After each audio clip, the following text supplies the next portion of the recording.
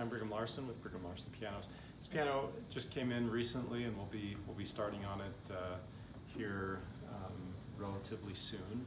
And uh, it's a 1895 Kranich and Bach, which actually I think, I think my, my very favorite piano of all time, top three for sure, but I think it might be my very favorite of all time was an 1890s Kranich and Bach um, upright that we rebuilt.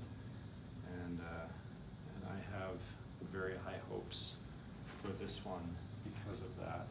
And, uh, and, it's, and it's particularly fun if you've watched my other before videos, you know that my favorite, my favorite ones to do are the, are the challenges like this one where they sound just absolutely awful. I mean, they, they sound like the, they wouldn't even be fit to go to the dump. They sound that bad.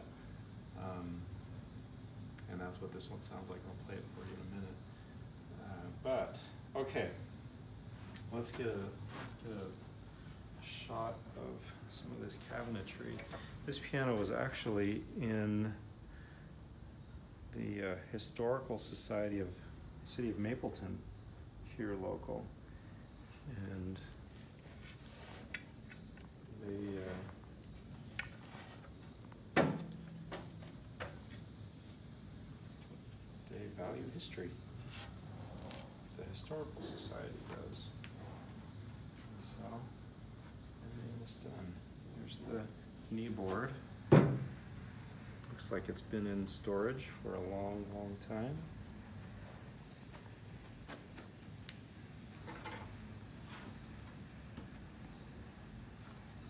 And the front.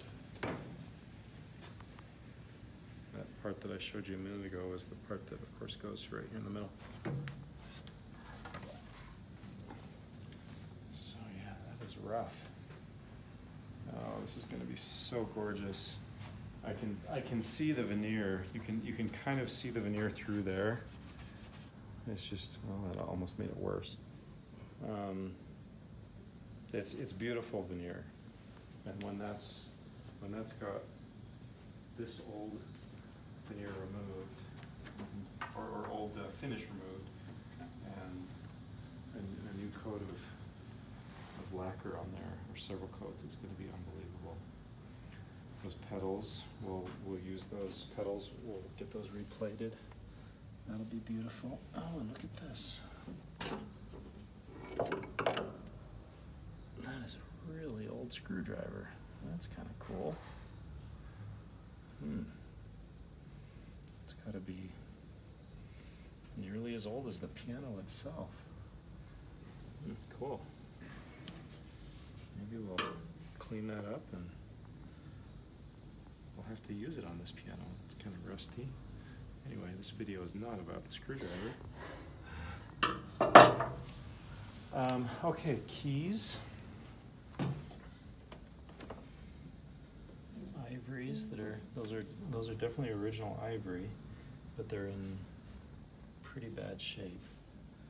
So we'll probably redo those, take those off. I'm not hundred percent sure, but that's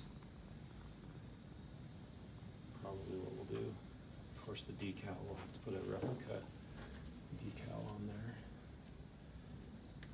These strings, this is, this is unusual actually. These strings are so rusty. You can get a feel for it when I, it looks like it's been in, in either a tropical climate or like it had water dripping on it or something. It's- because strings, they can rust, but not like that. That's extreme. And these tuning pins, same thing.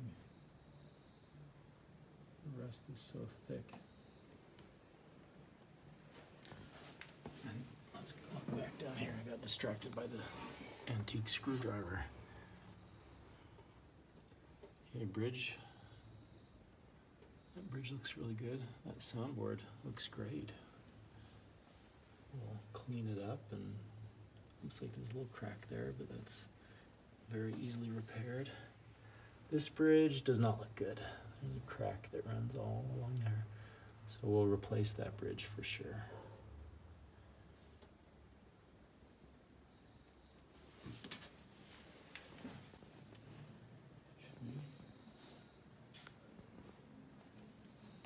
Let's listen to it.